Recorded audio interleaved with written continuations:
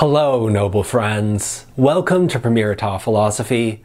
I'm Dr. Peter Yong, and today I'd like to explore the Renaissance conception of human nature set forth in Pico della Mirandola's Oration on the Dignity of Man.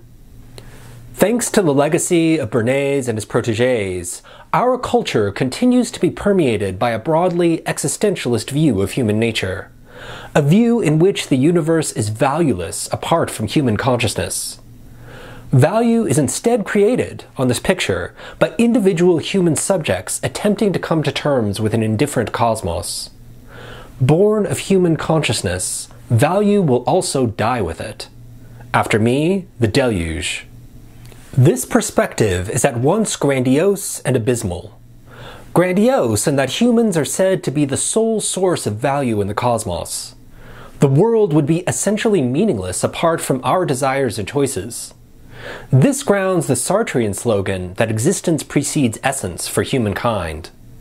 Unlike natural objects that simply are what they are, we must determine what we will be by creating the values that orient our lives.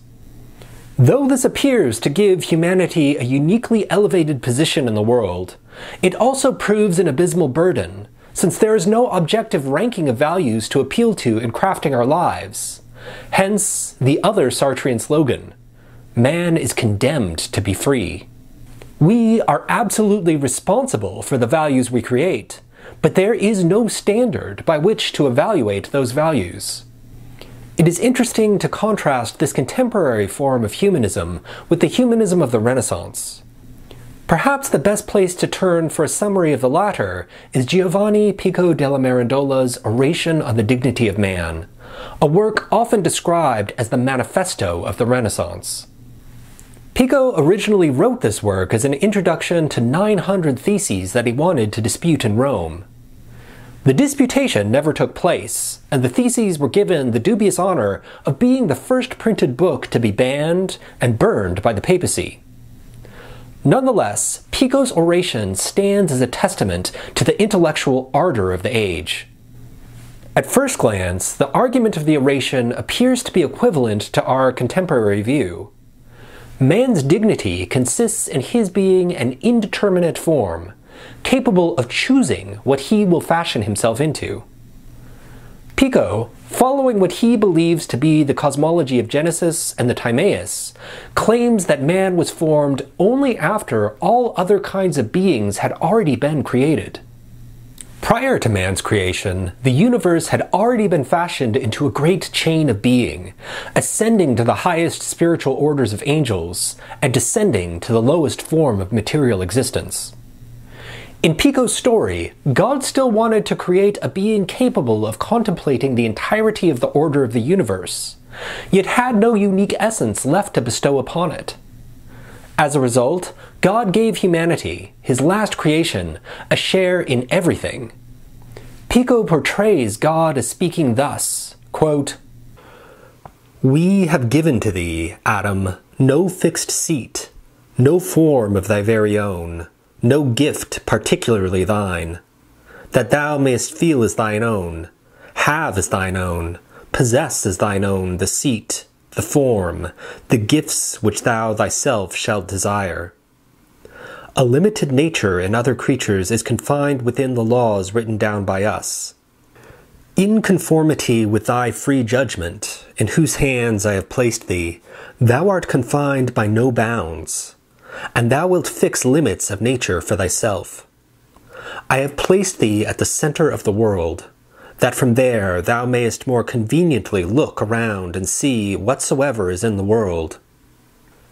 Neither heavenly nor earthly, neither mortal nor immortal have we made thee. Thou, like a judge appointed for being honorable, art the moulder and making of thyself. Thou mayest sculpt thyself into whatever shape thou dost prefer.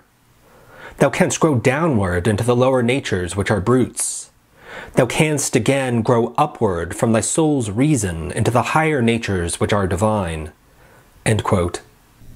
According to Pico, both brutes and angels possess their natures at the moment of their creation. This is not the case for man, however.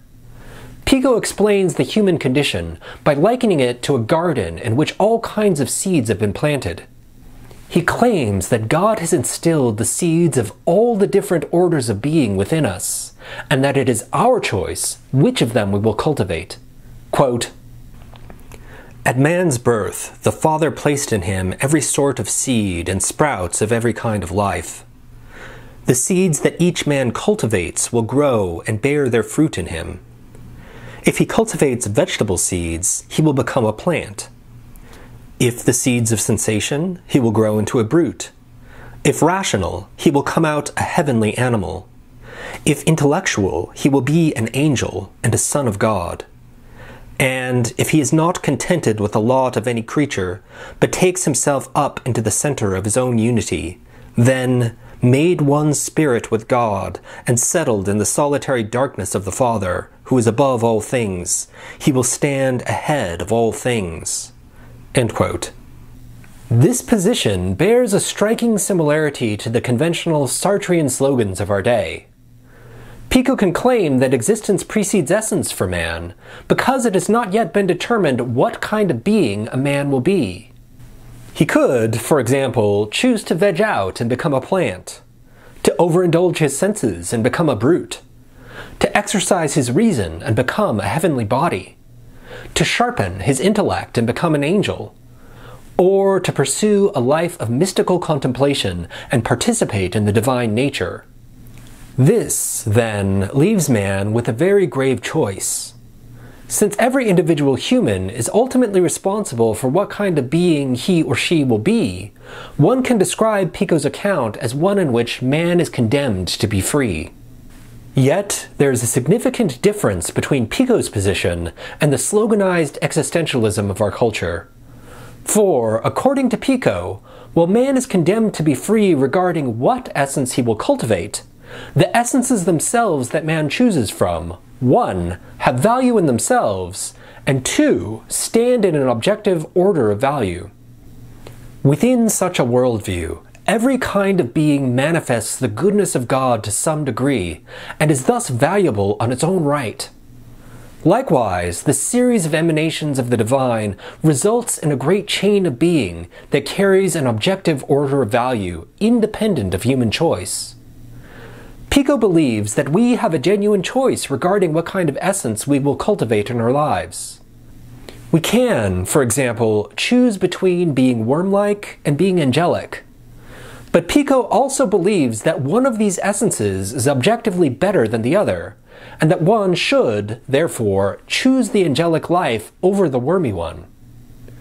Pico can thus claim that there is a goal to strive for when constructing our lives. Quote, Let a certain holy ambition invade the mind so that we may not be content with mean things, but may aspire to the highest things, and strive with all our forces to attain them. For if we will to, we can.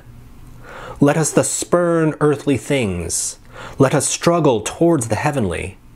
Let us put in last place whatever is of the world, and let us fly beyond the chambers of the world to the chamber nearest the most lofty divinity.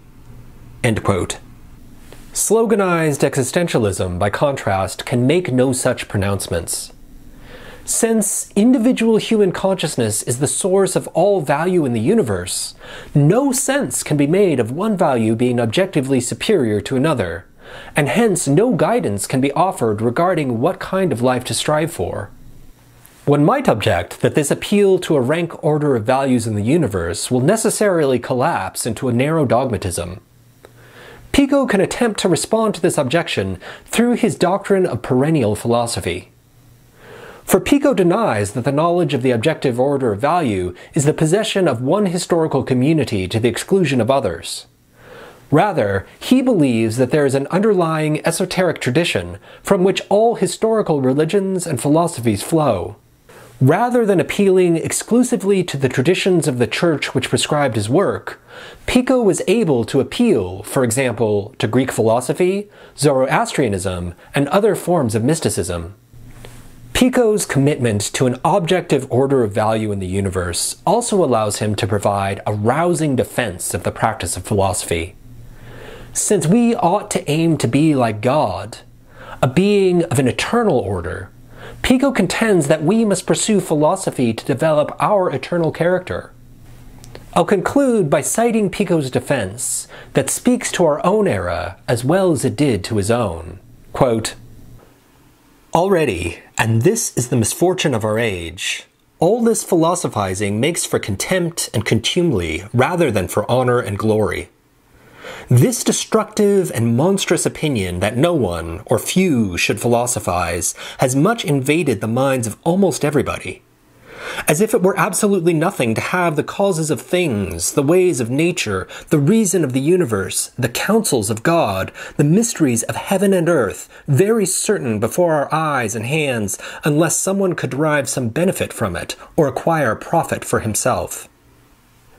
It has already reached the point that now, what sorrow, those only are considered wise who pursue the study of wisdom for the sake of money.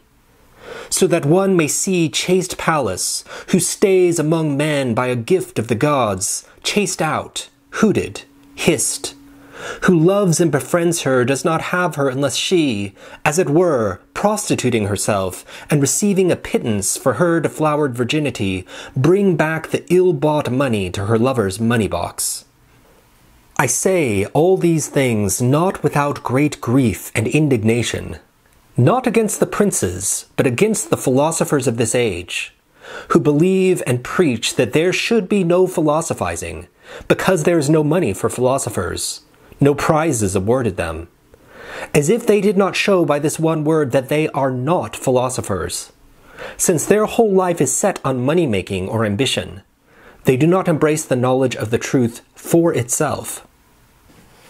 I shall give myself this credit, and shall not blush to praise myself in this respect, that I have never philosophized for any reason other than for the sake of philosophizing, that I have neither hoped nor sought from my studies from my lucubrations any other gain or profit than cultivation of soul and knowledge of truth, always so greatly desired by me.